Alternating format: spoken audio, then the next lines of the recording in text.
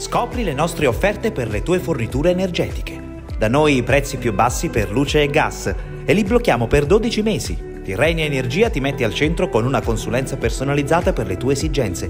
Vieni a trovarci a Cava dei Terreni in via Vittorio Veneto 158. Saremo lieti di offrirti la nostra esperienza.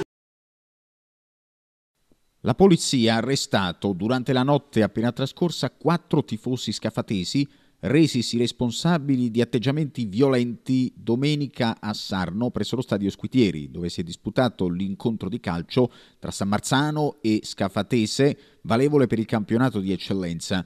Durante le fasi in cui i tifosi affluivano allo stadio, un gruppo di 15 ultras della Scafatese a bordo di un minivan di colore bianco e due autovetture non avendo seguito il percorso prestabilito per l'arrivo in sicurezza al settore ospiti dello stadio, hanno raggiunto l'ingresso del settore dedicato ai sostenitori del San Marzano, quelli locali.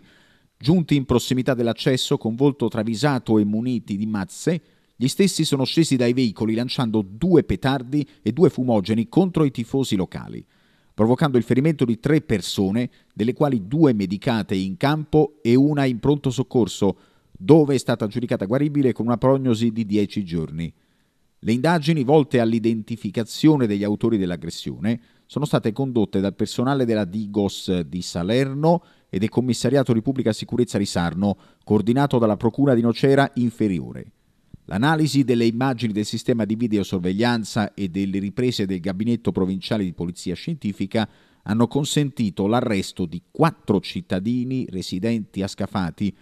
Di uno le iniziali sono CP, classe 98 con precedenti di polizia il secondo BR classe 92 con precedenti di polizia, il terzo FG classe 92 già destinatario di un DASPO scaduto nel 2018 e il quarto MA classe 91 con precedenti di polizia.